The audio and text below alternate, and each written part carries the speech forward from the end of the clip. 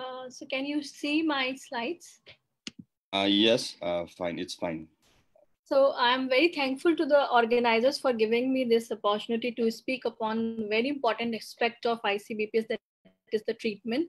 And as with other diseases, it will include three parts like conservative management, pharmacological treatment, and surgical options. So starting with the conservative one, uh, there are many strategies. Uh, I, am going to cover one by one.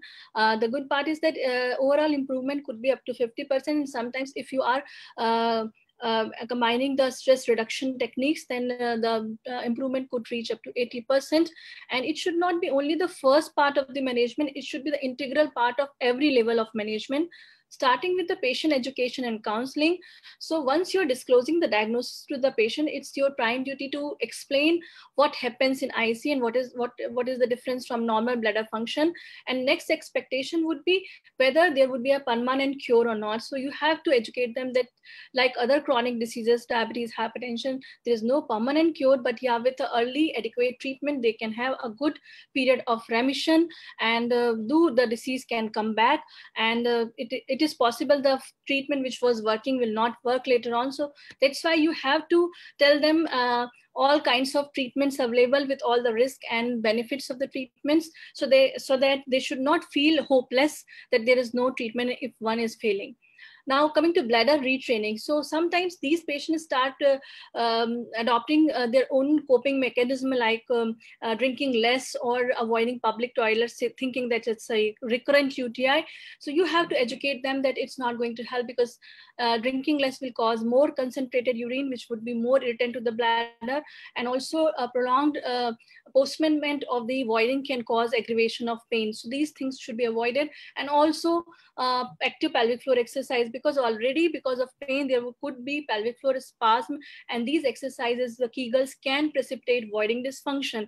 Uh, rather they should do some kind of relaxation exercise or stretching exercises and also they should adopt some kind of stress reduction techniques like meditation or yoga and you can also introduce these patients to some dedicated patient support groups we uh, already have in India, and we can uh, share the numbers. Uh, already Dr. Sanjay Pade uh, described those uh, groups. And um, coming to the dietary modification, uh, though there are some controversial um, opinions for this, but uh, we all agree that more than 90% of the patient will uh, show their in, in their history that there is some association with food items, though there is long list of foods uh, which has been given from the Western world, but uh, we as Asian differ in our dietary habits. So it would be a good idea to ask your patient uh, to choose from their food list by their own that what food items can cause problem and then they have to avoid uh, those food items for a while say for a few weeks to few months. Once they are doing good then they should start those those food items one by one. So say they have taken one and then they have to wait for three days. If there is no recurrence of symptoms everything is all right then they can continue having that. Uh, but if there is a problem then then uh, they should blacklist that food and they should uh, avoid in future um, if uh, it's causing problem. Most common food items which has been seen to cause aggravation of things uh, uh, are caffeine in any form, like not only tea, coffee, even the caffeinated drinks, Coke, Pepsi, or chocolates, dark chocolates, or uh, chocolate ice creams, alcohol, and also the citrus fruits like lemon, um, orange, um, apple, pineapple, strong spices, red, green chili, and the black pepper, um, alcohol in any form, or artificial sweetness, and sometimes some milk products also, especially if old sour curd is there the first and foremost uh, uh, expectation of the patient would be from you that there should be pain relief, immediate pain relief. So it starts with some mildest uh, analgesic uh, with the lowest dose like paracetamol and brufen. Uh, if it's not working, then you can try some mild opioid like tramadol. Uh, if it's not um, working, you can escalate the dose. But if rare refractory pain is there, then probably it's a good idea to refer these patients to dedicated pain clinics. There are some kind of physical therapies also. Uh, like if you're able to figure out the trigger points at the time of examination then either you can release or you can uh, make patient understand how to do the massage or something. For that uh, it's sometimes causes a great improvement. Um, otherwise you might have to uh, might require electrical stimulation TENS kind of therapies. At our part we have a specialist for that like physiatrist. So we can refer those patients to them um, also, there is a good idea to, uh, you can also do um, you know, direct injection of trigger points with uh, uh, local anesthetics with or without glucocorticoids, but um, there's no any uh, strong evidence for that. Acupuncture, actually this has a very promising results through many RCTs recently, and that's why it has been included in many guidelines and textbooks. And I'm sure at your part, you must be having experts for that coming to the specific treatment. So uh, we have already discussed the pathophysiogenesis of the disease. So drugs can work at different levels. Like if epithelial damage is there, then gag-like therapies to heal that epithelium, like oral pentosan or intravesical heparin can work. If already damage is causing potassium leak and irritation of the nerves, then probably those uh, medication which inhibit neurological activity like uh, amitriptyline or pregabalin or gabapentin can work. If there is activation of C fibers with mast cell uh, release and uh, histamine is there, then antihistaminic medications like hydroxyzine can work. So coming to the dose, always start with the lowest dose like amitriptyline with 10 milligram and i always ask my patients to take it uh, two three hours before sleep to avoid hangover next day because the side effects could be drowsiness. Even palpitation dry mouth could be there. If constipation is already then probably it would be a good practice to give something for constipation beforehand. Uh, if patient is able to tolerate the medication but not full relief then you can gradually escalate the dose to 25 mg uh, od to bd and even tds and um, uh, the second drug is hydroxyzine. So it is a very useful drug in those patients who are having history of allergies uh, like urticaria or um, uh, bronchitis. Uh, start with the lowest dose 25 mg uh, otherwise, you can increase up to 75 mg per day. But you have to be very cautious in elderly population because of the side effect of drowsiness and confusion. The pentosan polysulfate, a uh, few uh, words for that because it's the only FDA approved oral medication. And we know that it's a biomedicine and made from some uh, bark of some uh, German tree. So it should be always kept in cool, dry place. And the uh, dosing is very specific, 100 milligram uh, three times a day, one hour before or two hours uh, after meals. So uh, it's very important should be club uh, with the food because otherwise it will not have a good result. And the duration uh, of therapy should be at least three months because it's a slow working medication. If you are giving for the short duration of say 20, 10 to 20 days, it's not will give it will not give results. So that's the reason some of the studies have not uh, show shown the promising results, and even some guidelines have stated that it's not good. Uh, it's as good as placebo, which is not correct. We have seen very very good response in many of the patients. Though there are some side effects, but these are usually mild nausea, diarrhea, and hair loss is usually reversible. Other medications medications could be azathioprine or cyclosporin. Cyclosporin is especially useful in those patients who are having active Hunner's disease. Coming to intravesical treatment, it uh, once the oral medication is not working or having a lot of uh, side effects, then you can instill the medication directly into the target organ with a maximum response and without systemic absorption. So there would be least side effects, but it could have disadvantages like you, it's invasive. You are introducing a catheter, so it, ca it can cause aggravate urethral pain, and also there is a small risk of infection. These are the commercially available intravesical agents. At uh, our place, we are only having heparin. The DMSO dimethyl sulfoxide is of industrial use only. AUA, the American Urological Guidelines, have only recommended these three agents, dimethyl sulfoxide, heparin, and lidocaine. Uh, we usually use combination and uh, you can see the publication of Dr. Taneja and his cocktail includes hydrocortisone 200 milligram with heparin 25,000 units in 40 ml saline. Um, myself, I use this uh, combination. Uh, the dose of heparin range from 25,000 to 40,000 depending on the severity of the patient uh, symptoms uh, combined with bupivacaine 0.5%, sodium bicarbonate 7.5% and dexamethasone 8 mg. we usually give it at an interval of one to two weeks uh, for total six times. Rationale for this cocktail regime is that because the gag substitutes work slowly, so we combine with uh, uh some kind of local anesthetic uh, to give immediate relief in pain and alkalization uh, increases the potentiality of the local anesthetic. Uh, preliminary results of my data of around 676 patients, which I kept for two years, is very good. Uh, more than 50% response, uh, but uh, no response was only with 11% uh, of the patient. There are some tips for doing these uh, intravesical installation. If you are relying on some technician or nurse, then you have to tell that ask patient. Hello ask patient to come uh, having a good breakfast because it's a good habit uh, not to eat something uh, during the installation time because uh, it if it, they will drink a lot then it will uh, fill the bladder um, fast and uh, they won't be able to hold the medication for a long period. Also introduce 10 to 15 minutes before the some kind of xylocaine or some kind of um, local anesthetic jelly so that they will, will not have pain during insertion and use the smallest caliber catheter uh, like 8 French pediatric uh, feeding tube and don't insert beyond bladder once the urine is cupping stop because otherwise it can touch the various parts of the bladder wall and can aggravate pain later on. I'm not going to touch the cystoscopy part because it has already been beautifully covered by two previous uh, speakers. So I'm skipping this part.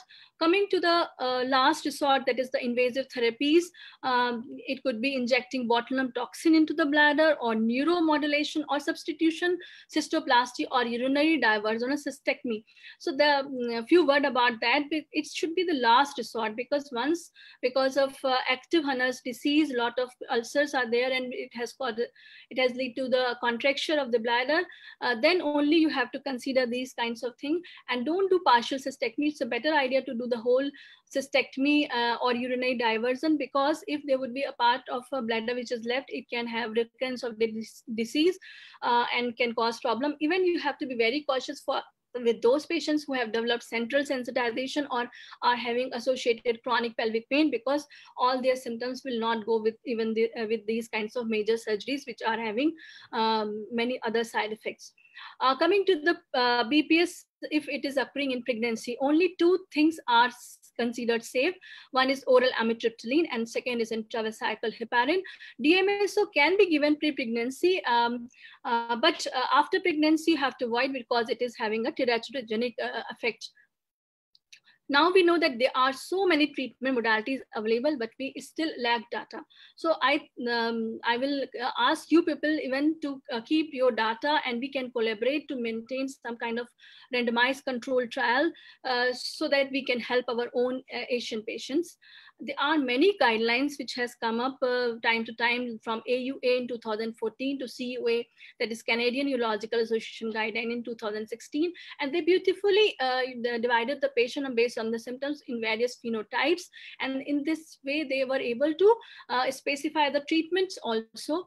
We also recently in 2017 have uh, issued our own guidelines gibbs guidelines and recently it was updated also and it is more relevant for the Asian patients.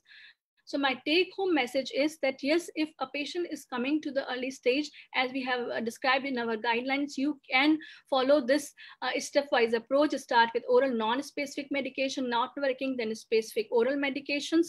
Next would be diagnostic cystoscopy with or without hydrodistension, and you can ablate the Hunner's ulcer at the same sitting. But if it is not working, intravesical treatment and last resort would be invasive therapy. But if patient is coming to advanced stage, it's not that you have to start with the first treatment. You can start the advanced treatment or you can uh, combine uh, two, three treatments together. You have to individualize the treatment and uh, it would be a better idea to phenotypically decide the patient's uh, treatment and uh, to, to, in order to achieve the maximum response. And um, uh, it, if you the multimodal therapy is not working in a patient, then you should think you should rethink about the diagnosis and you should evaluate that patient uh, um, further. And uh, the last thing is that always avoid long-term antibiotics, oral steroids, or long duration high pressure hydrodistension or intravesical BCG in these patients. So uh, with this, I think I have justified the treatment part of this disease. Thank you so much.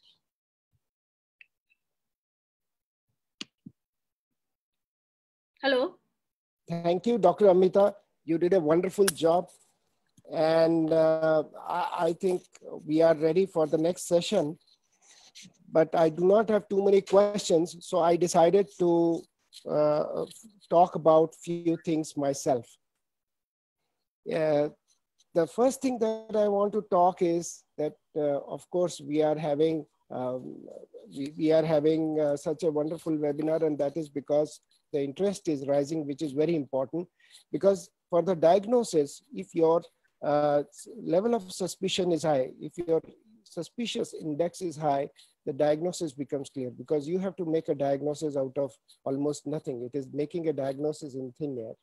So I will just point out few things which have been missed in the whole of the scenario, which I wanted to talk about. One is, of course, you need to phenotype your patients. There will be patients as uh, my previous speaker talked about in etiopathogenesis. So there are various etiopathogenetic pathways and it is a heterogeneous entity. So you need to phenotype which patient belongs to which category. For example, some patients will have Hunner's lesions, others will not have Hunner's lesions. Some patients may have no bladder pathology at all. So that means there may be some neuropathic pains. There, up to 85% of these patients may have dysfunctional voiding. So dysfunctional voiding can cause bladder pain. And uh, that is the, and the point is that if you do a cystoscopy, you may find absolutely fine. And all you need to do is to find out if they have an overactive pelvic floor, which can be done by a good pelvic examination. So you need to phenotype and then progress further. The other is, of course, uh, if you find a person with a, a tight pelvic floor, you subject them to good physiotherapy. The problem with physiotherapy is that if you send it for physiotherapy for pelvis, they give them pelvic floor strengthening exercises, which is absolutely opposite to what is required. So they will increase the symptoms rather than decreasing the symptoms. So we need to tell our physiotherapists to prescribe pelvic floor relaxation because most of the times patients come back with Kegel exercises which increase the symptoms. So that is very important. So have a dedicated physiotherapist teach your physiotherapists. Then, of course, we have uh, for the basic practitioners, I wrote a book on interstitial cystitis in 2014. It is readily available if somebody wants and cannot have it, can just send me a message. I'll see or BP can organize that. The other is last year, we were one of the first ones in the world to have local diet book. Like we had uh, got an Indian diet book for our part of the world for interstitial cystitis, bladder pain syndrome. So because our diet is different from Europeans, our problem was that our patients would come and ask about diet. And when they go back to web, they will find things which they are not eating anyway. So we had to compile a book on that and that is also available. Regarding oral pentosan polysulfate, as Dr. Amita has rightly mentioned, that it is sometimes it is controversial. It is not controversial. I have just reviewed all the studies while I was in the lockdown. And I realized that the studies in which cystoscopic findings were supposed to be good, included in the inclusion criteria of the study, pentosan polysulfate worked in all of them. It did not work in the studies where cystoscopy was not supposed to be a part of inclusion criteria, which means that they collected a lot of other heterogeneous group of patients and then they gave them pentosan and found that it is not working. So you need to select out your patients. You just don't keep giving pentosan polysulfate to everybody. So your diagnosis has to be important. If your diagnosis is correct, it is likely to, it is likely, I'm not saying it will, it is likely to work. So we cannot write off a molecule like pentosan polysulfate. The problem is that there is one study published by um, uh, Curtis Nickel in 2015, because of which the whole thing changed. But the same group had published in 2005 and had given kudos to pentosan polysulfate with a result of more than 65, 67%. So in 10 years, the molecule giving result for 67% has become a molecule giving result which is not acceptable. So what has happened in 10 years? Is a temporal profile of a molecule globally changing the pharmacotherapy? I don't know. So what I found was the reason was that the study they published in 2005, they had strict criteria of cystoscopy included in their inclusion criteria, which was not there in the 2015 study. So that makes a big difference.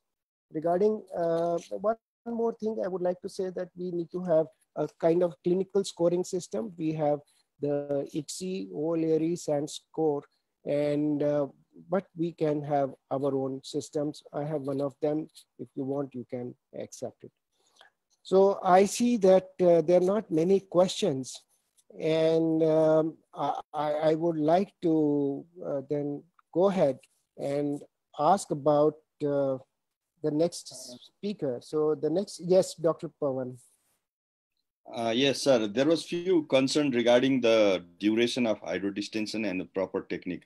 I think our residents also need to um, tell yeah. it properly. So, so, so, I think Dr. Yeah, Apul Goel. So if he's there, yeah, I saw him. Yes, yes, so, yes, yes. He's there. He's very much there, and he's going to be part of the panel.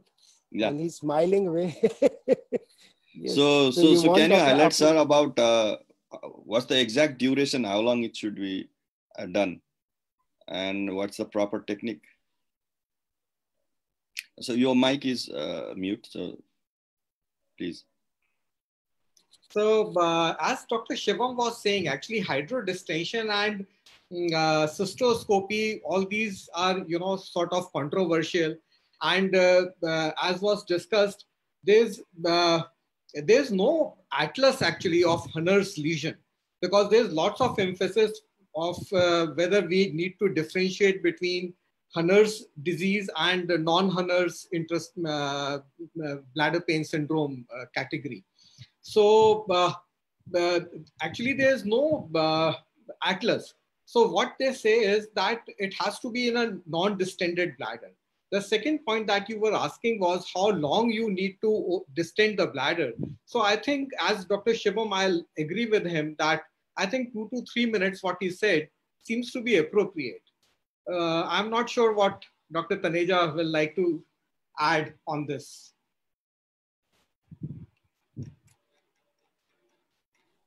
Uh, you actually summarized everything. See, there is a difference between hydrodistension and hydrodilatation. Initially, the confusion has arisen because initially it was eight minutes. So eight minutes, if you distend beyond 80 centimeters, you're going to actually kill the detrusor because you're going to go beyond the systolic, diastolic pressure.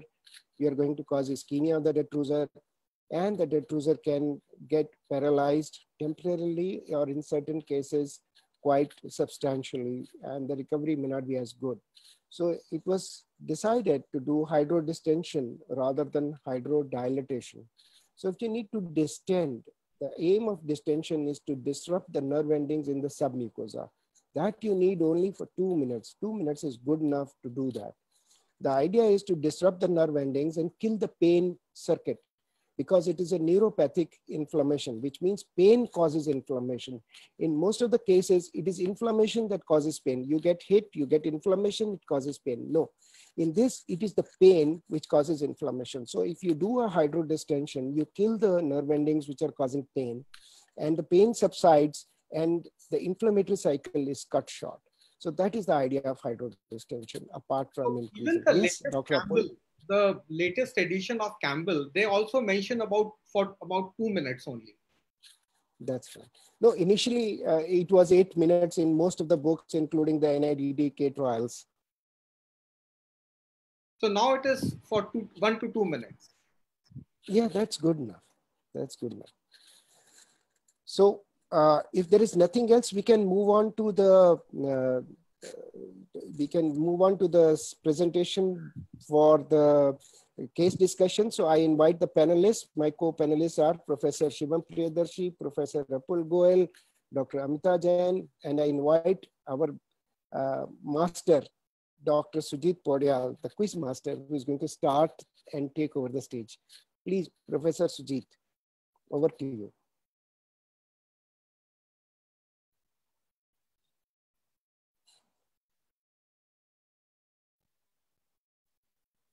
Uh, Dr. Sujit, your mm, mic in mute. Yeah, thank you. So good evening, everyone. Hello, good evening. Am, we are there with you. So I am thankful to Naus and Gibbs for uh, letting me be a part of the program and uh, also be a moderator of this session. So we have a team of uh, esteemed panelists. So they will be enlightening us and demystify this so-called mysterious syndrome. So without any much to do, I would like to start with the case. So coming to the first case, uh, she's 28 years female with lower urinary tract symptoms with frequency deteriorating for six weeks, currently voiding every 30 to 60 minutes. She has nocturia three to four times. She also gives history of severe suprapubic discomfort compelling her to void regularly. She gives history of recurrent urinary tract symptoms for 15 months and for which she has received multiple antibiotics, anticholinergics without any relief.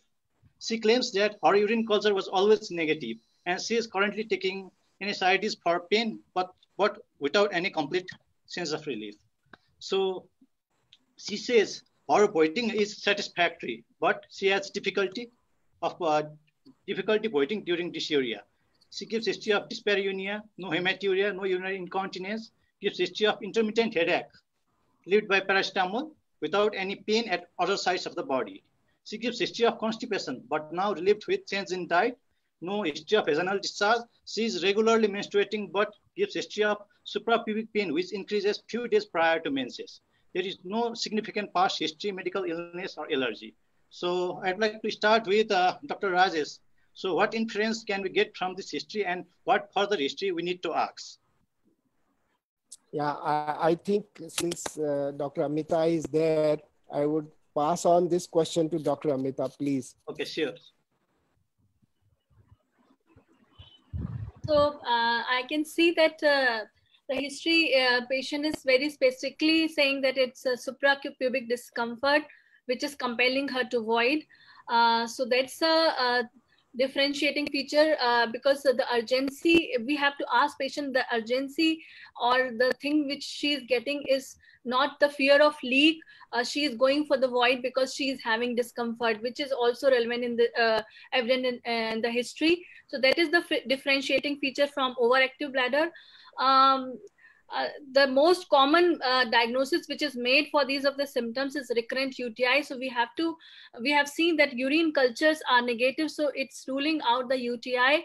And uh, uh, the thing uh, on the next slide, you have shown the menstrual history there where she is saying that there is suprapubic pain which increases just prior to menses. So that, that could be a differential diagnosis. This patient should be further evaluated for endometriosis, which is a differential diagnosis. And for that, you need a good clinical examination, pelvic examination, and ultrasound of uh, pelvis uh, to rule out endometriosis. So these are the things I would like to highlight. And uh, uh the examination part will also give you idea any kind of, you know, uh, trigger points, pelvic floor spasm or something which is cause, causing, uh, you know, uh, aggravation of a thing because these patients are prone to develop voiding dysfunction later on. So that's my view. So thank you, Dr. So, I, I will I will add on something. Yeah. Okay, thank you. So, okay, sure, sir. So the simple question that I would have asked is when you wake up from sleep, is it yes. the pain that is causing you to wake up, or is it the bladder sensation which is causing you to wake up. Because if it is pain, then we know that yes, there is a problem. The, another thing is, of course, when Dr. Amita, that is why I put it to Dr. Amita, because a change with a menstrual cycle means that there could be something else sitting there, which could be an endometriosis. Uh, anything else, Dr. Goel, you want to add? No, I think uh, uh, Dr. Amita has, uh, you know, uh, said everything and uh, you need to keep uh, endometriosis in mind because as urologists we often miss this thing. So uh, because Gyne- as a gynecologist so uh, she picked up you know endometriosis which has to be always kept in mind. Otherwise this lady except for the fact that she looks a bit young actually. So although uh, even uh, this condition is described in children but but uh, otherwise everything falls into uh, you know into this bladder pain syndrome category yes sir so this uh, the history gives clue towards bladder pain syndrome but we have to rule out endometriosis so to complete this history i would like to add that she gives history of generalized weakness loss of appetite and weight She is insomniac, no interest in work. She is housewife, married for five years with one child. Her husband works in Dubai. She has received high school education. There is no significant family history, and she is from low middle class family. So, does this history adds up to anything? So, Dr. Rajesh. Yeah. We so need to when take you when you yeah when you say insomnia, I need to understand is it truly a nocturia or a nocturia because of insomnia? So the question that I would ask is, okay, when you wake up from sleep, you go to pass urine, you come back, do you go off to sleep immediately? If you're not sleeping and you're tossing in bed, you've got nothing else to do, you just walk up to the washroom, and that is counted as nocturia. So one yes. has to be very careful when you talk of insomnia with nocturia together. So yes, sir. I want to add and, one thing. And loss of weight has to be accounted for. Never in ICBPS you will have a loss of weight unless there is a functional overlay and there is a functional problem of anorexia, which we need to assess. So we have a lot of differential diagnosis one thing I want to add okay, that we can sure. see the lot of stress factor. We can see a lot of stress factor like um, uh, she's having insomnia. That's uh, uh, that could be because of the disease, but she has to care, uh, bear the child. Uh, her husband is away, and uh, so there could be, you know, we have seen that stress induces the flares. So that yes. could be the reason for her um, recurrent symptoms so that could be the one thing because uh, probably she is not having the diagnosis till now she was diagnosed as recurrent uti so she must be having that stress also that she is not having the diagnosis so sometimes this these things also um, aggravate the uh, scenario so yes so when, whenever we are dealing with chronic pain so we have to deal with the we have to dig into the psychosocial aspect of the person as well so these are the DDs. So we have ruled out most of the differential diagnosis. So any uh, comment on this differential diagnosis, Dr. Apul? So I think you have enumerated all all possible uh, uh, differential diagnosis here, and as you have highlighted, because everything because mm, although it is the condition is bladder pain syndrome, but if you see 75% of these patients will have associated symptoms. Yes. Only bladder-centric disease is, is only 20 to 25%. So as you have mentioned that this lady has other symptoms also like anxiety and uh, headaches and all those things. So I think uh, she is, you know, falling towards the last uh, uh differential that you have mentioned, which is the bladder pain syndrome. So yes, sure. Bladder pain syndrome should be suspected at first, but should be diagnosed at last after ruling out all the well, yes. differential diagnosis. It's a diagnosis of exclusion. Yes. Yes, Dr. Shivam, please. Yes. Yes. Uh, thank you. Uh, amongst the history, uh, one of the components of the history was that she has loss of weight and loss of appetite also. So being in this part of the world, uh, we should always uh, rule out a case of genital genitourinary tuberculosis also. Yes, yes. Yes, though these symptoms could be due to uh, psychosomatic also, maybe it's uh, because she has been suffering for so long. So that could be something related with psychological disorder also, but uh, we should rule out genitourinary tuberculosis. The secondly, about endometriosis, uh, typically endometriosis will have a uh, pain during menstruation and not just before menstruation, which is quite typical in interstitial cystitis. And uh, patients with cyclic hematuria, which is present in around 20% cases, is probably diagnostic of uh, urinary endometriosis. While diagnosing a case of endometriosis urinary, we have to think that ultrasound and uh, anything else physical examination may not pick up endometriosis, urinary endometriosis. So many of the researchers and clinicians have suggested that laparoscopy should be done together with cystoscopy in these patients if you are suspecting endometriosis because endometrial lesion always starts from the serosal surface from the peritoneal. So you will have peritoneal lesions and you may not find anything in the bladder itself. Bladder endometriosis usually is presented only when there is a deep infiltrating endometriosis which is uh, present in some of these cases. And if they present into the lumen of the bladder, then only you will find bladder lesion, which is uh, obvious on ultrasound. So laparoscopic, uh, uh, diagnostic laparoscopy would be required if you want to rule out endometriosis in this. Yes, sir. So that's the point. Yes, I will just add on one point that uh, as Professor Shivam has rightly pointed out, the, in, in the late uh, 1900s and 2000s in Europe, there was a trend to do all these hysteroscopy, cystoscopy, laparoscopy for any pelvic pain.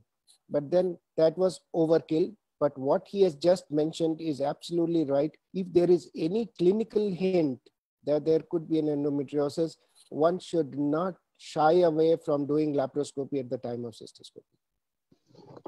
If I may, I might add something here. Uh, because uh, in last one of the conferences, I just presented on endometriosis of urinary bladder only and its relation with interstitial cystitis. I will tell you a few facts.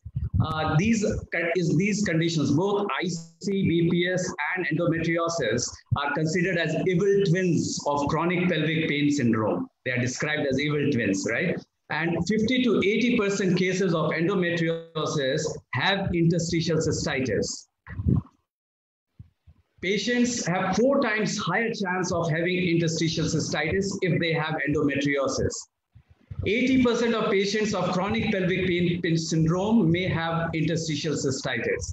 And many of these patients, we do hysterectomy. And after hysterectomy, almost one third of these patients still continue to have pain. And 80% of these patients are, are thought to be actually interstitial cystitis. So these are a few facts, and almost two thirds of these patients may have interstitial cystitis and endometriosis coexisting. So they may coexist together. And people, researchers have also shown that endometriosis can lead to interstitial cystitis. So these are a few facts about these two conditions. What would be the message, sir? I think the message uh, to gynecolog- uh, gynecologists should be that uh, at the time of treating endometriosis, especially if they are do- doing a kind of hysterectomy or something, uh, always they should do a cystoscopy to rule out uh, the presence of interstitial cystitis or even the bladder endometriosis. So that should be taken into account. I think this is the message which should Before be. proceeding with such a radical kind of surgery, we should always take in, uh, think in mind of interstitial cystitis also, right?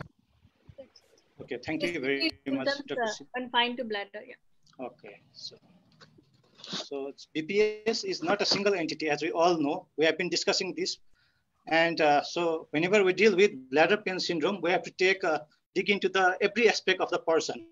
We have to rule out systemic diseases, regional pain syndromes, even psychiatric illness. So coming to examination, so her general physical examination was unremarkable. BMI was 21. Abdomen, abdominal examination revealed mild suprapubic tenderness. Vaginal examination revealed mild vaginal tenderness. Her neurological examination was unremarkable and pain score was 7. So Dr. Amita, anything to add on this examination?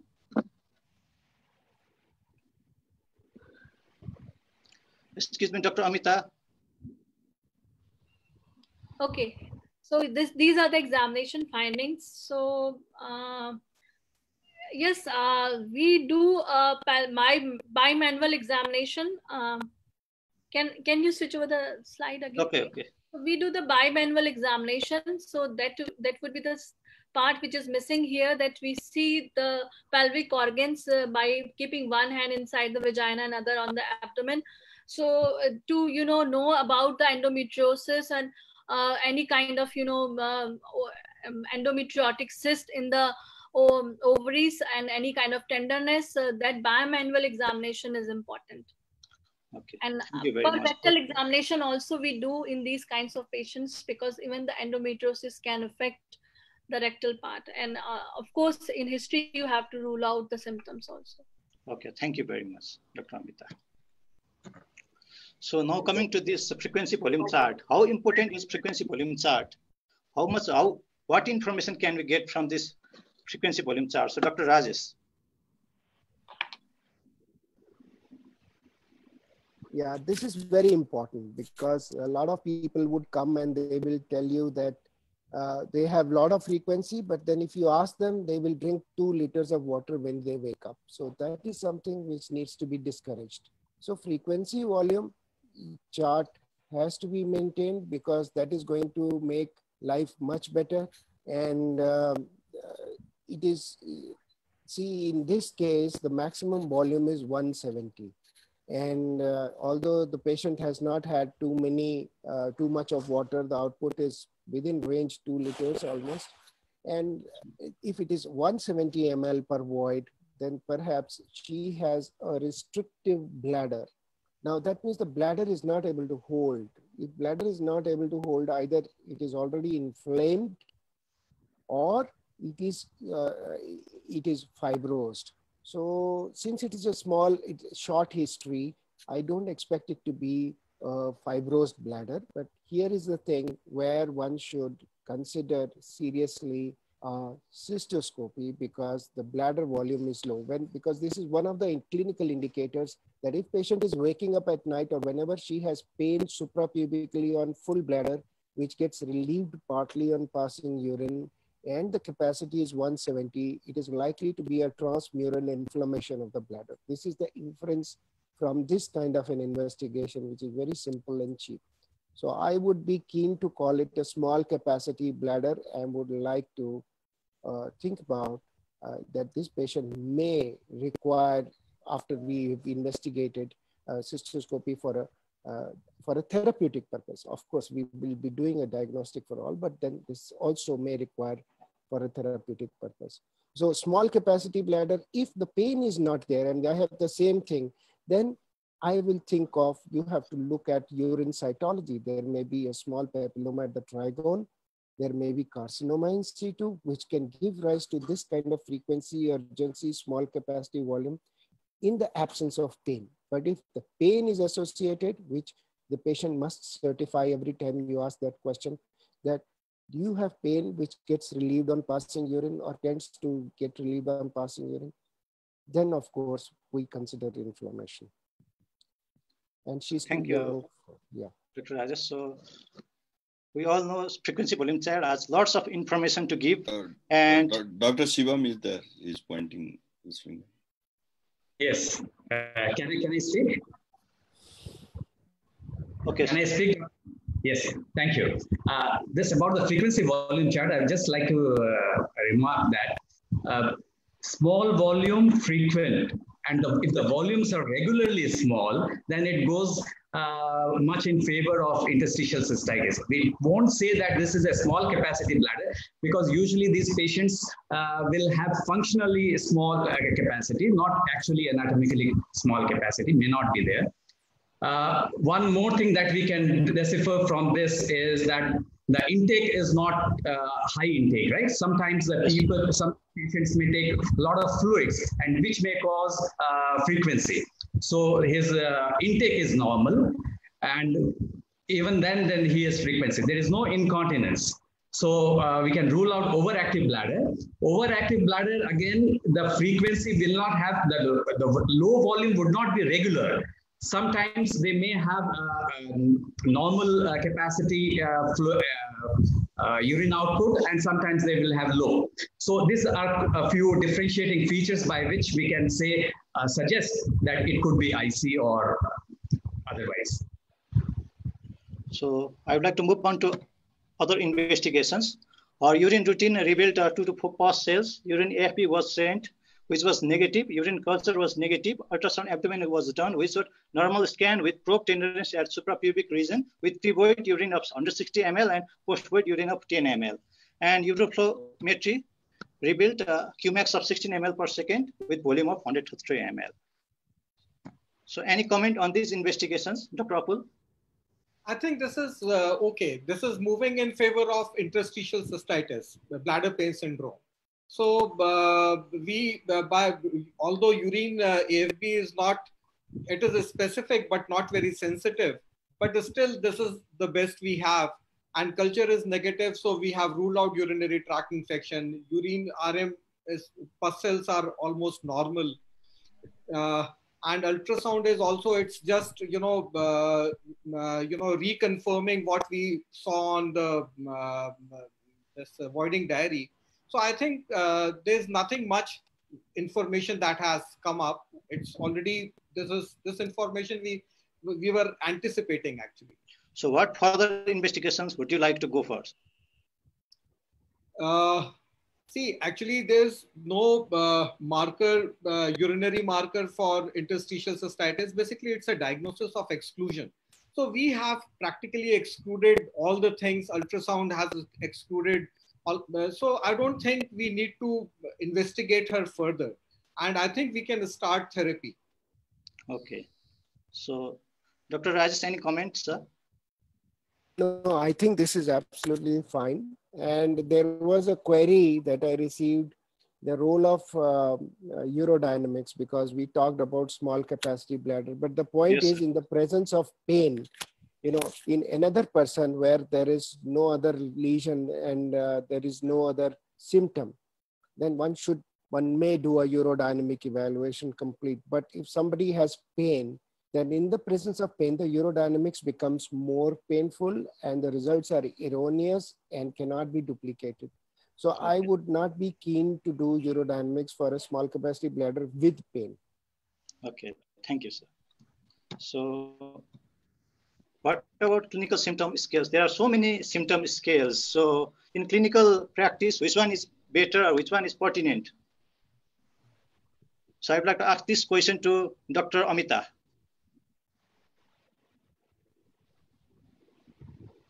So Dr. Amita. Can you hear me? Yes. Yes, yes. Now we can. So we usually using O'Leary-Sant in uh, indices because it's uh, having all kind of uh, things combined. And uh, actually we have uh, raised in our last uh, GIPS conference that we can include a few things more in that um, clinical scale. and I think Dr. Taneja got a publication also regarding that aspect. So we are using, but yeah, I am not having details of other scales, so I have no idea. I think Dr. Taneja will give a better answer. Okay. Yeah, so uh, I have the bladder uh, pain syndrome scale, which was published in International Urology, uh, which is uh, based in Japan. Now, this uh, scoring system, I decided to incorporate the dyspareunia or the sexual dysfunction and pain during sexual function and the functional or the psychological impact. And then what I did was I multiplied the pain factor to uh, four times and nocturia again. So that is a detailed discussion. I don't want to come into it, but then I have that system that is working. If anybody is interested, I can forward it to them. Otherwise, it is available in the Journal, International Journal of Urology uh, in the year 2019 uh, I can send a reprint if you can send me a mail. But some kind of scoring must be done. The scoring is important because, very important because if you have a score and the patient comes back and says, look, doctor, you have treated me, but I'm not better. You show, you ask them to fill this, uh, the scoring system before they, are, before they see you. And then you compare that scoring system from the first day that they had come. And then even if the patient doesn't realize patient has improved, so that gives a positive biofeedback to the patient. So the scoring system works therapeutically It not only convinces the patient that it has, a patient has improved, but also helps the patient. Patient will go back and understand, yes, I have improved. Otherwise, the patient will keep telling you because pain sometimes is very unquantifiable thing. So the patient will keep saying, मेरे को पहले भी दर्द था, मुझे अभी भी दर्द है. But then the quantification of symptoms has to be there, which helps the patient to understand and go back with a more positive attitude. That's why that's where it works, positive biofeedback. So you can follow any scoring system, whichever you want to follow, you should follow. This is the one that I followed, which has been uh, which has been published. If you want, I can share. Yes, thank you, sir. So clinical symptom scale, they are essential component of the investigation and it's necessary for objectification of the progression of the disease. Thank you. So this is the O'Leary-Sant score, not going into detail. So she was, so further investigations were also done. Urine PCR was also sent, urine cytology was also sent, cystoscopy was also done. So as we have already discussed, these uh, investigations are not necessary. So any comment? Yes, I would like to Yeah. Okay. Let Dr. Shivam start off. Yes. Uh, I think if we have a, a, we are thinking that she has loss of weight, loss of yes. appetite, and systemic signs and symptoms of uh, chronic disease, then we should do a, a, tuberculosis culture also, AFB culture and PCR also. Uh, and about urine cytology, uh, I don't think it is required. Urine cytology would be required only if we have a microscopic hematuria or uh, because she is female, she's, I don't think she is a smoker. So if she is a chronic smoker or microscopic hematuria, then only we will think of doing a urine cytology. Office cystoscopy, um, I think because it's, it's a prolonged, uh, she's suffering for a prolonged period. So uh, personally, I think that I would go for a cystoscopy to rule out uh, a non-Hunner's from a Hunner's kind of ICBPS. Okay. So other, uh, other confusable lesions also, right? Yes. Thank you, sir. So, uh, Professor Sujit, now I have two problems here. One, I have okay. not been able to explain the cause of weight loss. Five kg yes, weight sir. loss is significant in a young woman. Unless I am convinced that this is depression and anorexia due to depression, which we need to evaluate. Yes. The other is the other is that she has suprapubic pain. Suprapubic pain comes from pelvic organs. What is the status of her large intestine? Sometimes they will have something like an ulcerative colitis, which has not been diagnosed, or maybe a terminal ileum or an ascending colonic um, Crohn's disease, which can cause malabsorption and reduction in weight. We need to be careful because there can be a crosstalk. So I would be keen to evaluate this person from a different pers perspective altogether while I'm working on his bladder. So I would need to get a gastroenterologist at this point of time. Let the gastroenterologist define the cause of weight loss. This is very important. Second, I don't I don't recommend an office cystoscopy because office cystoscopy, one has done under local anesthesia, two, it is done with flexible cystoscope in most of the places. So when you have an office cystoscopy and the patient has pain when you are you're causing infusion, irrigation, you cannot see many places. Sometimes you may miss a lesion because patient is moving and it is a moving target and you're trying to find out and the patient is struggling. So I think if we cannot relieve the pain of the patient, we should not give pain to the patient. So although there are centers which will keep continuing to do office cystoscopy under local anesthesia, I'm a strong recommender of cystoscopy under general anesthesia so that you take an opportunity to treat if you find something. And uh, because why is the patient having pain? Because the bladder is getting filled and the pain and the bladder is not able to hold that volume. So you are fighting with the patient to patient wants the bladder to be empty you are fighting with the patient to fill the bladder so that is where the thing is so when there is uh, you're, you're working on two opposite ends and that is a struggle and you may not be able to do justice to cystoscopy dr shivam wanted to make a comment okay Yes, I wanted to say that cystoscopy is, I would do cystoscopy, not office cystoscopy. I usually don't do office cystoscopy in these patients. Okay, thank you, sir. So as we all know, is uh, one question uh, to Dr. Taneja.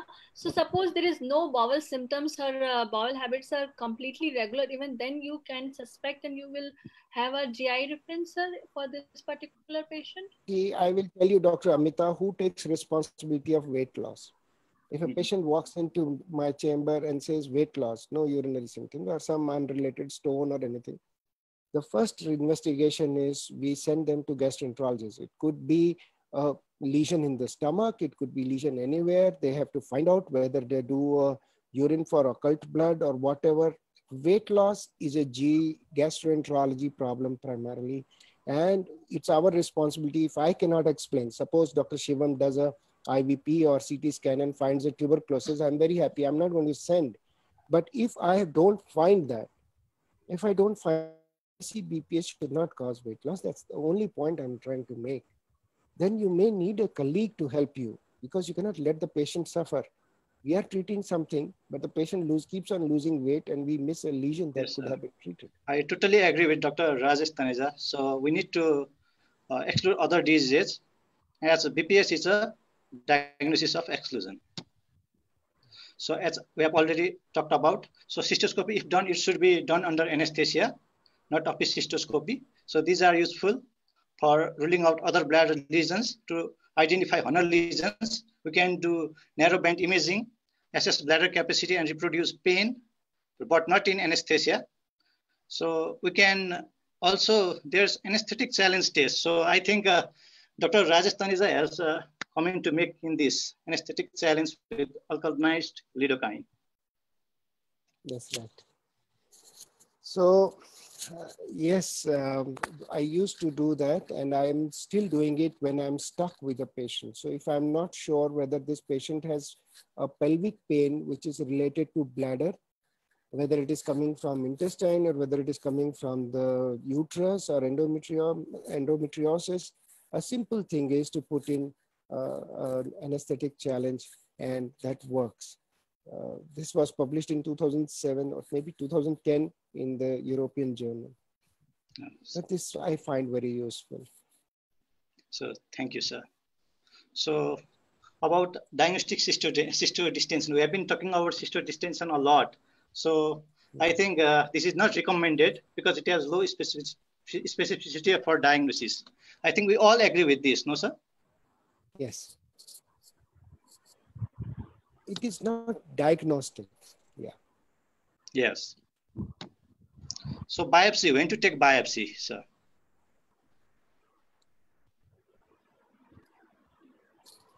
Yes, uh, you see, if you do a cystoscopy and you find a lesion, you must biopsy it.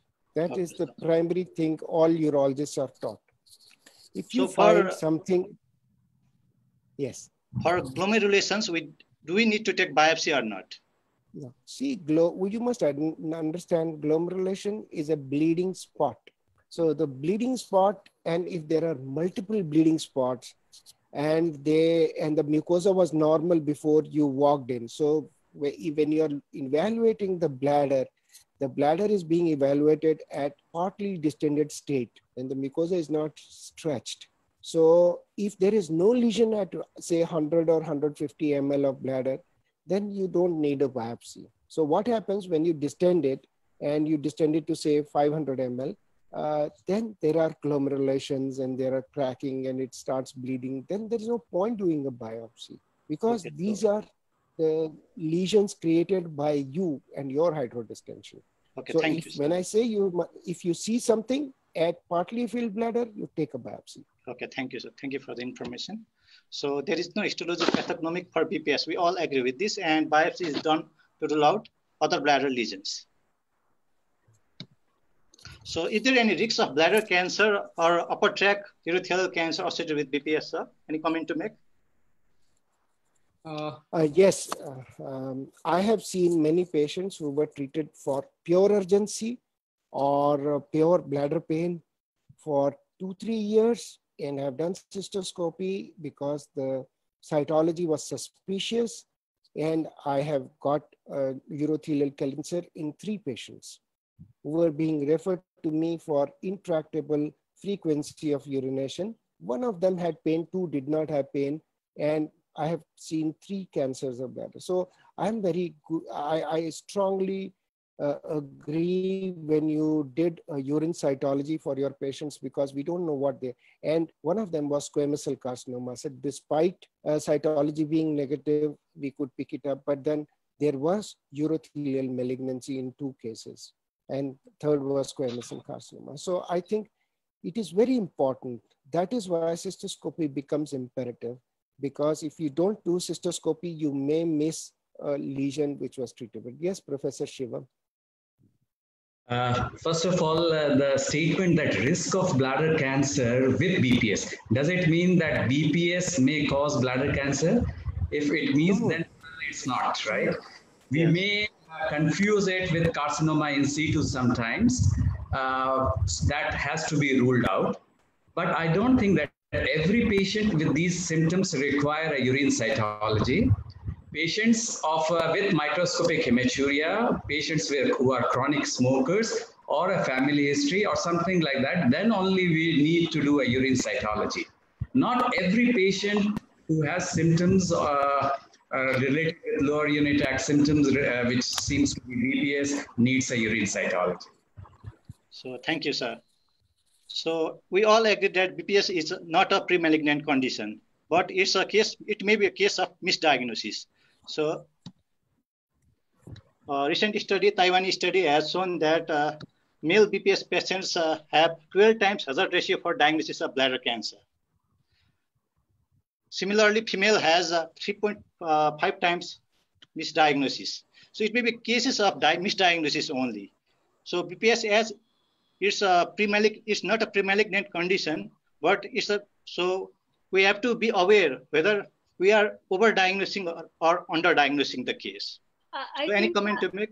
Yeah, I think in my last slide, I pointed this out that if you have initiated the treatment of bladder pain syndrome, considering this the diagnosis and the treatment is not responding, then you suspect you should rethink about the diagnosis and then only further evaluation, even cytology and everything should be done if you are suspecting that thing uh, that the patient is not responding. That is very important. Even Dr. Shivam is right in that thing that yes, uh, initially you can skip, but if the treatment is not getting response, then probably you should think to avoid these kinds of situations. Okay, thank you, Dr. Amita, for the information. So role of urodynamics, we all have been talking about the role of urodynamics. So whenever we uh, come across uh, dysfunctional voiding overactive bladder, urinary incontinence, or neurological conditions in history and physical examination, we have to consider urodynamics.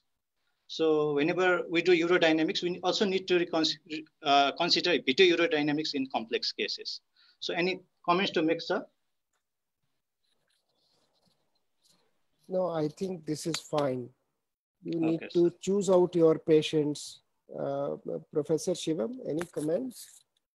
I just wanted to say that it is not a routine investigation in these patients. Urodynamics would be required in a very subset group of patients where we are confused whether this could be a case of neurogenic bladder or if the patient has some obstructive urinary symptom. Particularly if a male patient, we think that he may be suffering from BPS, we might do with obstructive symptoms, then we might do a urodynamics to rule out uh, any obstructive pathology also. So not every patient would require a urodynamic study. So if we do urodynamics in these patients, these are the findings. So here you can see normal compliance, no overactivity. So there will be only hypersensitivity. So in this case, the first sensation was at 63 ml, first desire to void at 95 ml, strong desire to void at 118 ml, and maximum capacity 138 ml. So similarly, voiding phase was normal. So I think uh, it didn't add up to our diagnosis. Right. Just introduction of our symptoms only. Yes. So, Dr. Sujit, I must yes. tell you something. If you see the maximal cystometry capacity is 138 ml, which means it is less than what the patient can hold otherwise. Yes. So patient has given a frequency volume chart saying 170 ml and here the urodynamic says 138 ml. So this proves my point that in the awake state, if the patient has pain, you are trying to fill the bladder and the patient is resisting filling the bladder and that fight will continue. That's one. Second is, if you look at the production of urine per minute, so the production of urine is per 1 ml per kg per hour which means almost if there's 60 percent, 60 kg person, it is one ml per minute. So when you're doing a urodynamics, so what you're adding is actually 10 ml per, per uh, second, per minute. 10 ml per minute is what you're irrigating. So which is a very high rate of filling of the bladder. So that is another reason why in, in awake state, patient with bladder pain syndrome will, will document a smaller bladder cystic uh, capacity. So this is our pressure flow study. So what about other investigations? CT, MCVG, urinary markers, potassium chloride test. Any comments to make, sir? So uh, uh, let me, you know, come back again. So these are not done actually. These are only done as for urodynamics. Also, if we are stuck, the patient is not improving, you need to rethink about the diagnosis. So, and uh, these urinary markers, they are still not standardized. They are still experimental and they are only done only when, you know, you are doing a clinical trial or something. And potassium chloride test, because uh, it aggravates the symptoms. So, uh, so people avoid it. It was described long back, but because you are, you may aggravate the symptoms, you may induce the pain. So this test is also not uh, done now. Okay, thank you, Dr. Apu. So these, uh, for initial diagnosis of BPS, these investigations are not necessary. Okay, thank you. So as per AUA guidelines, to conclude uh, our history physical exam examination and diagnosis. So for simple case of BPS without any incontinence, GI symptoms, signs, hematuria, sterile pyuria, and gynecological signs and symptoms, so basic assessment is enough, which includes history, frequency volume chart, examination, post-void residual urine, urine analysis, and uh, symptom questionnaire along with pain evaluation. Cytology is needed if there is high risk for bladder cancer.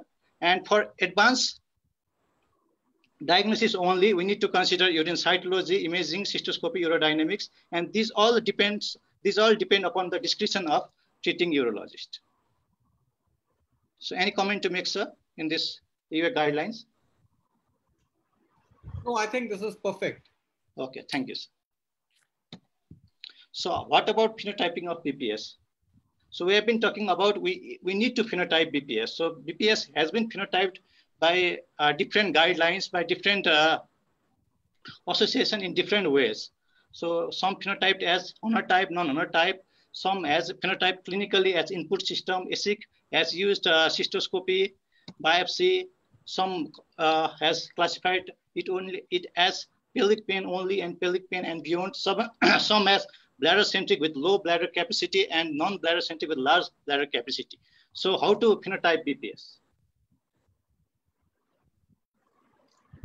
Any comments? Yes, if I can just come in. Yes, yeah, please, please, please. So as I said, I think uh, for, if we start any treatment of uh, BPS, uh, phenotyping is most important because this uh, group of patient is a heterogeneous group of patient. They have varied kind of symptoms. And uh, so phenotyping the patient would help us to treat the patient in a proper manner. So uh, we know U-point system has been uh, described by Karen, which was uh, way back in 2009. And then they added also one point that is S was for sexual dysfunction also added. So uh, according to this, uh, we all know that we can just uh, phenotype or the exact clinical domain in which this patient falls and then treat the patient accordingly. And I think it's very important nowadays, a lot of work is being done to understand whether actually it is different entity or it's a part of ICBPS only. So uh, people are saying that uh, uh, this Hunner's lesion IC could be a totally different entity than BPS. So we have to see whether it is actually a Hunner's lesion uh, IC or it's just a systemic disease with BPS or even there is third entity which is called as pelvic hypersensitivity. So if so in physical examination that just I was going to mention that we uh, just uh, uh, missed out about pelvic floor examination. So we need to see the tenderness of the myofascial bands and all those areas to know whether if there is something wrong with the pelvic floor muscles also. So these three are the most important entities which need to be differentiated from each other before we start the treatment. Yes, Dr. Shivam, Dr. Amita did mention about the trigger points and pelvic floor yes. examination. So she On has mentioned. And, uh, in this yeah. particular case, I'm not asking about uh, Amita's presentation. This was regarding this case. Yeah, this case only she talked about when she was made to make the comment. Anyway, okay, okay, so uh, yeah. So uh, the only thing is that there have been phenotyping based upon what presents. Like people have phenotyping trying to phenotype. When you're talking about Hunner's lesion it is the manifestation. So the phenotyping should be done based on etiology. If you want to succeed in segregating the treatment you should be able to do phenotyping based on etiology and more work needs to be done on this regard at that level. Yes, Sujit, please continue. Okay, thank you, sir. So AU has given strong recommendation on phenotyping of these patients for treatment as these patients are really heterogeneous. So, and these have implications in diagnosis, prognosis, and treatment. So now coming to treatment, patient was counseled regarding her disease, the disease process, and uh, she was advised for behavioral modification like restrictions of diet and to restrict diet that provoke symptoms, to engage in med meditation, and uh, also advised about, counseled about bladder training with urge suppression. So we started analgesics according to WHO ladder pattern, and amitriptyline was started 10 milligram daily, and it was titrated weekly to 50 milligram. So she was uh, treated with multidisciplinary team of gynecologists, psycholo- uh, physiologists, and psychiatrists. So, anything to say, sir? Professor Apul. So I think this is perfect. Uh, these are the steps actually which were discussed in various presentations also. This is how yes. we proceed. So, and as just to highlight again, so uh, uh although uh, 50 milligrams have been used in various trials, but yes. rarely need to titrate till 50 milligrams. Usually 10 or 20 milligrams suffices in most patients. Okay. Thank you, sir. So behavioral modification studies, we have already talked, Dr. Amita has discussed a lot about, okay, Dr. Amita. The restriction of fluid, uh, the patient is not taking a lot of fluids. So okay. I uh, told like on restriction, probably the urine is going to be concentrated, so it's not going to help. So it would be adequate volume in distributed form. That would be a better okay. idea. Okay, thank you. Rather than restriction you. of the fluid. Thank, thank you for correcting. Thank you. So this has been already talked a lot by Dr. Amita, so I'm not going in detail. So pelvic floor relaxation physical therapy. So this is essential component of the therapy. We all agree, yes, sir? So we have to maintain dietary charting and to look for the diet elimination diet. We all agree with this. So about guidelines also, they have strongly recommended for multimodal therapy, stress management, dietary advice, and physiotherapy. So what about oral therapies used in BPS? So in clinical practice, uh, so which oral agents do we, are practicing, sir? Uh, Dr. Shivam is yes. around. Yeah, so uh, I think I uh, personally uh, am favor of amitriptyline. I, amitriptyline works quite well in many of these patients. And then I might I add hydroxyzine in some of these patients. And if I think that there is something uh, which is the problem is bladder centric, then I would uh, also add pentosan polysulfate. So okay. I think I would uh, consider these three uh, besides the pain management. Definitely pain would require anti-inflammatory analgesics uh, in the latter fashion. Okay, thank you, sir. So anything to say, sir, Dr. Taneja, sir? No, I think this is fine. Uh, we must, uh, as I said, in this particular patient, we would use alkalizing agent also. Okay, thank because, you. Because uh, if if there is something which is offending, we will need to go into the diet. We will need to go into the uh, clinical examination to see if there is any.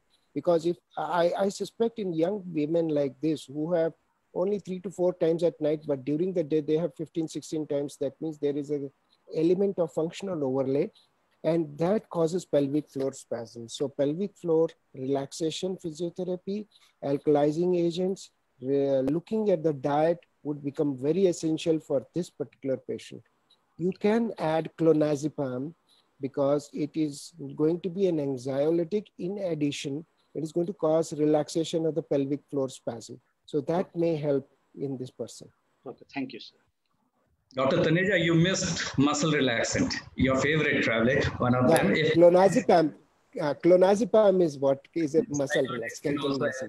You, are, you usually say some many times, yes. Okay, sir. Thank you very much I for just want to mention one thing that uh, psychiatric evaluation should be the part of management because okay. this patient, uh, like Dr. Taneja told, that weight loss is there. So one component could be GI problem or some kind of thing, but the other thing could be just depression that could yes, be the uh, leading cause so psychiatric evaluation. And then because many of the psychiatric medications have you know kind of interactions with the medications of amitriptyline and gabapentin then you have to decide those in collaboration with a psychiatrist. That is a very important thing uh, in these kinds of patients. So sir so whenever we are using amitriptyline we have to know about its uh, adverse effects and contraindications as well. So there are so many adverse effects. And whenever we are escalating the dose above 100 milligram, we should be really careful. And in cardiac patients, we should be really careful with this drug. We all agree with this. Yeah. So she followed up uh, and uh, she didn't have satisfactory response with amitriptyline, but had dry mouth and constipation. So what to do next? How to go, how to deal with this case?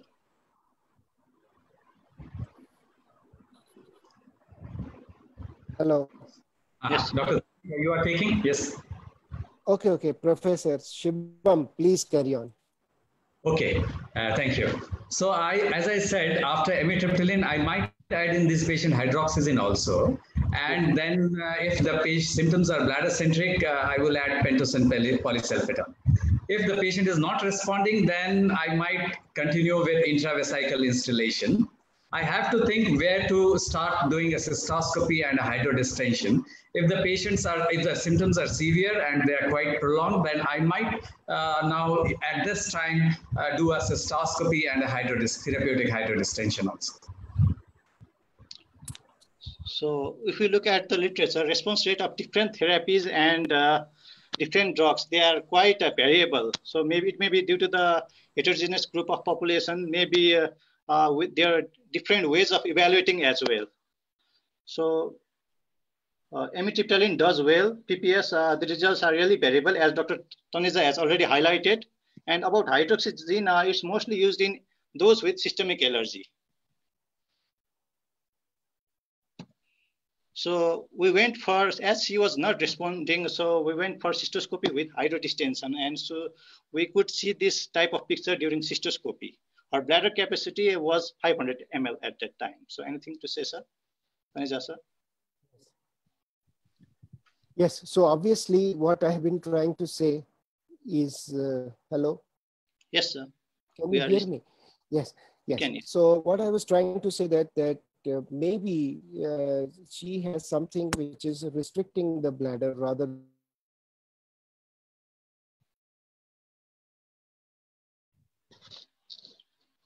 Okay, we cannot hear.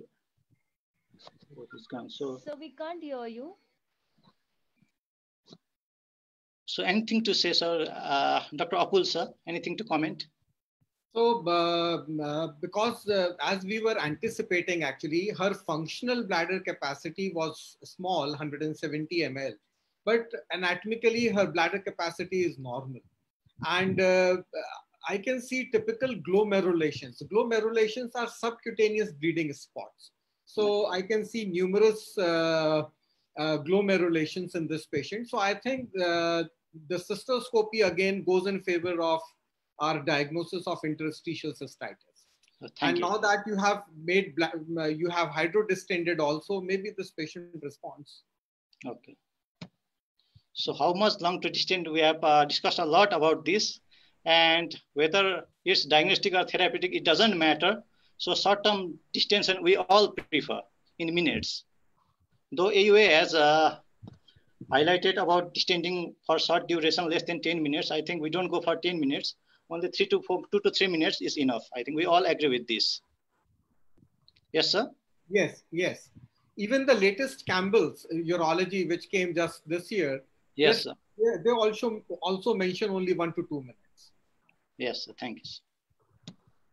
So coming to outcomes of cysto uh, this has been highlighted by Dr. Uh, Sigdale. So I'm not going into detail. So it has good outcome at early follow-up, but for long-term follow-up, it has poor response rate.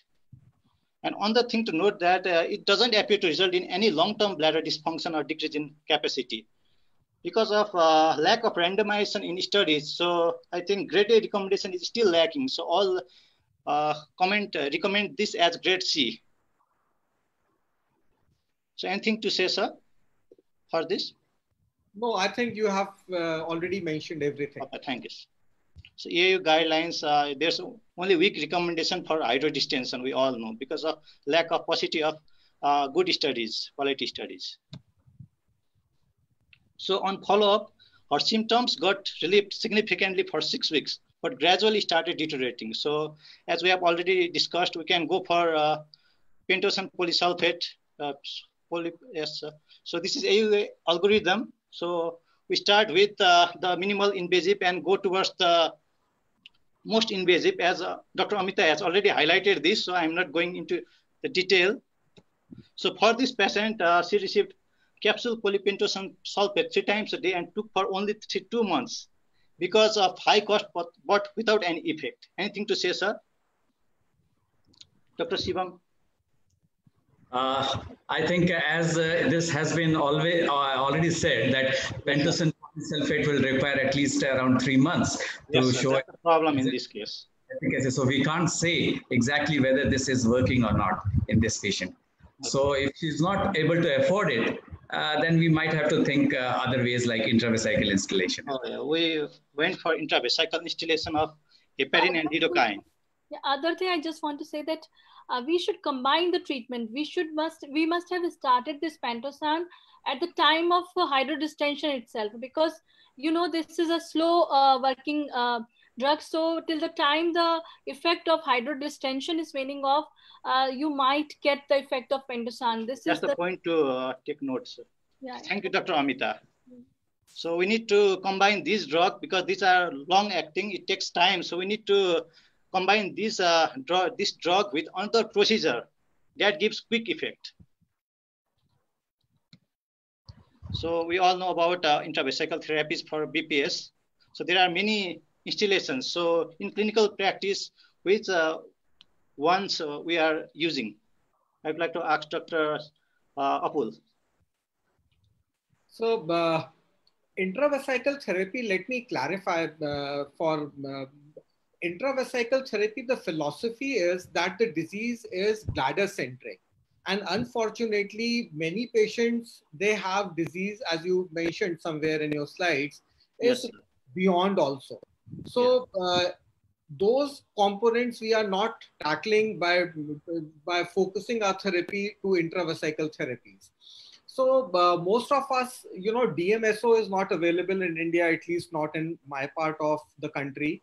So uh, intravesical pentosan sulfate again is not available. So actually, we are just giving what the cocktail type of thing where we add some steroids, heparin, soda bicarb. So it's a cocktail that we give. So, uh, but the problem is the compliance again. The patient has to come again and again. It's difficult for them often to get it done somewhere in their house or something.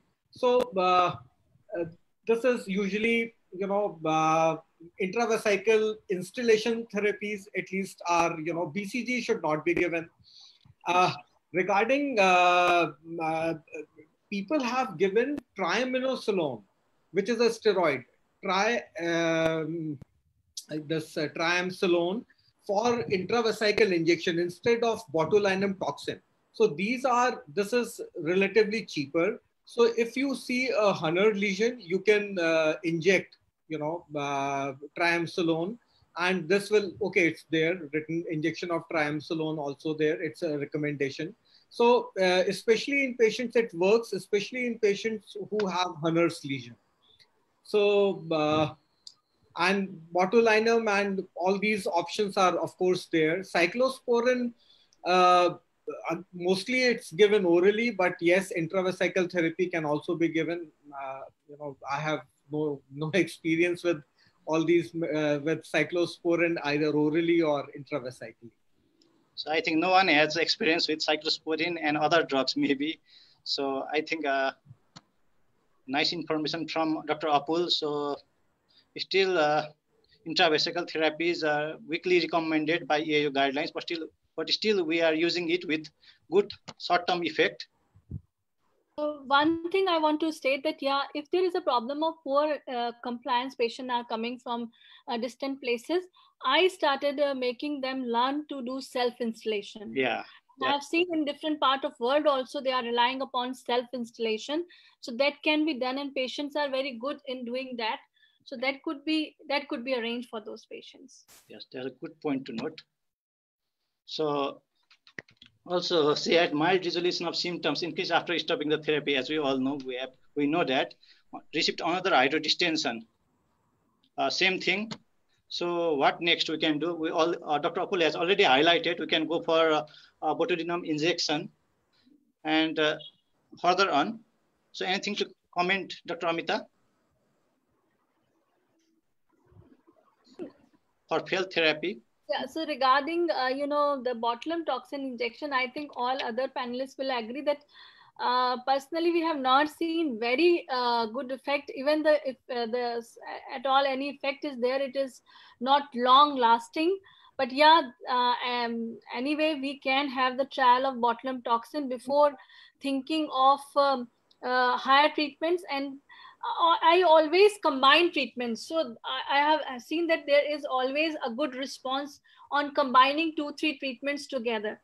So usually we never get patients beyond, you know, intravesical installation, uh, very advanced stage um, uh, ulnar disease or something which is uh, requiring a kind of surgical management uh, is very rare. You know, hardly in two, three patients in 100 patients may might require these kinds of therapies. Okay, thank you very much.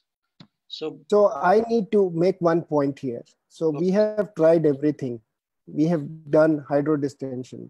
It is not working. Oral PPS is not working. Triple, amitriptyline is not working. So there is a thing that we are missing. We are missing yes. a diagnosis. We should revisit our diagnosis. Just because we are at the interstitial cystitis webinar, we should not forget that there should be there could be something else which is pushing. I will repeat a transvaginal ultrasound for the pelvic organs. This is the time to look at something there. I would also get HSV, herpes simplex virus, which at this young age is very important. So IgG and IgM for herpes simplex virus, because I have personally found young ladies like this who will present with non-specific pain with frequency. You, you, when you do a cystoscopy, the bladder is distending nicely, but uh, when you do the HSV, you hit the target, you apply acyclovir cream locally, and you give acyclovir orally after that and they improve. So we are missing out on something which is very important. We, we so, at this point, when you've done two hydrodistensions, you've treated everything, relook the diagnosis. That is the Thank message. Thank you, sir. So whenever the patient is not improving, we need to revisit our diagnosis. So that's the clinical principle uh, that also applies in BPS. So should we move to uh, BPS and pregnancy? It has been already covered by Dr. Amita, so I am not going in detail. there is scanty evidence. So triptyline and heparin are the only safe drugs considered in pregnancy. And PPS, it is well studied in animals, but not used in uh, human beings. So anything to comment on this PPS in pregnancy? I think we have nothing to comment on because there's still lack of uh, controlled trials trials in human beings. So I will tell you okay. that uh, that uh, my patients who have been on follow-up, they became absolutely fine for almost a two-year period around the pregnancy, but they came back with symptoms after two years of delivery and and that that's why when there is a pregnancy, you don't really need to give anything. Okay. Thank you, sir. So should we move on to next case uh, or I think, uh, I think no, I think I think we will need to we will need to stop here because